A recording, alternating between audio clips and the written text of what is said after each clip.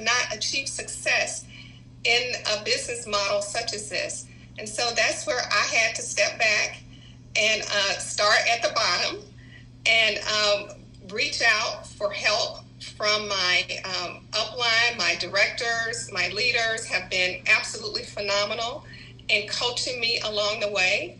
But also, in order for them to coach me, I had to have the humility, humility in order to allow them to do that. I had to realize what I didn't know and also to, to reach out for help when I needed it. Hmm. You know, in, in addition to that, what uh, what is something else? Knowing what you know now uh, that you didn't know when you started, what is something else that you may uh, which that you may do differently uh, if you were starting today? You know, with your new knowledge. Well, with my new knowledge, I would not hesitate.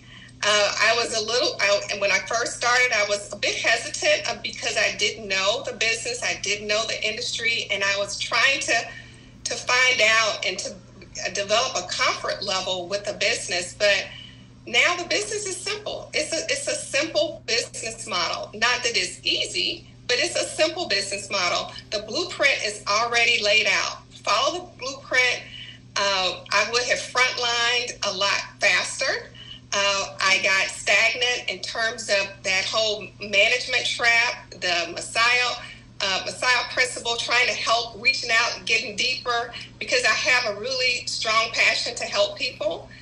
And being able to realize that, you know, some will and some won't. And, you know, you can't want things more for people than they want for want it for themselves. So, um, powerful that's what I would have I would have uh, kind of detached a little sooner and um, reached reached this um, milestone sooner in the process.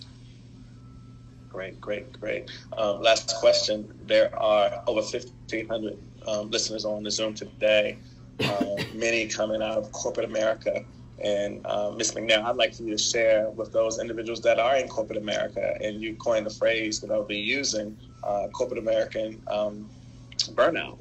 Uh, many of them are burnt out and don't even know it. What advice would you give uh, your, you know, fellow corporate American execs that's on the on the Zoom today? Um, I would say to realize that um, there is another vehicle, another way, and another level, and also to have an open mind because you know we're busy about being busy but how are we going to change that what are we doing to change our current situation do we want to be busy forever? What kind of levels are you going to be able to reach in corporate America? You're only going to be able to go so far. And then at some point, you're going to be transitioned out because your income and your income is going to, you know, it's just not going to be sustainable. And also, you're not going to be able to get wealthy and build generational wealth by working having someone else control your your your income Wow. Uh, Ms. McNair, thank you so much for sharing. Congratulations. Um, and look forward to hearing from you many, many more times on, on these interviews.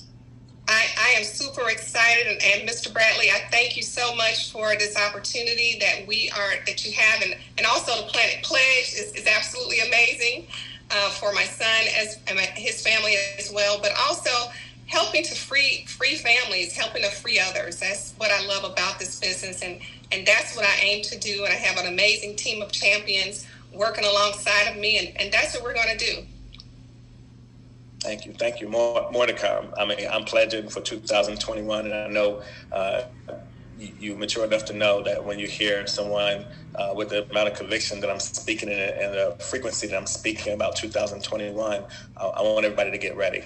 Again, thank you, Mr. McNair, for sharing so transparently today on the Zoom. Thank you, Mr. Bradley.